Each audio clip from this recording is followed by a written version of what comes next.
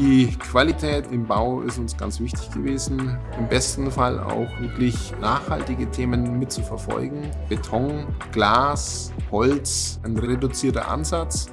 Und äh, wir sind sehr zufrieden, wie dieses Material Holz von der Firma Böhmler hier umgesetzt worden ist.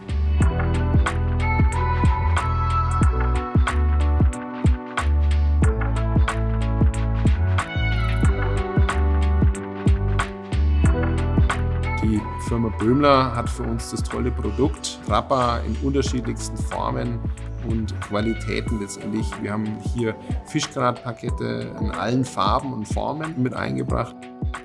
Die Qualität muss in jedem Fall auch der hohen strapazierten Situation eines Hotels ja auch gerecht werden. Also wir verbauen hier Materialien, die in Würde altern. Also deswegen ist es wichtig, dass die Basis auch stimmt. Und, ähm, Deswegen haben wir uns auch wirklich für dieses Vollholz letztendlich äh, entschieden.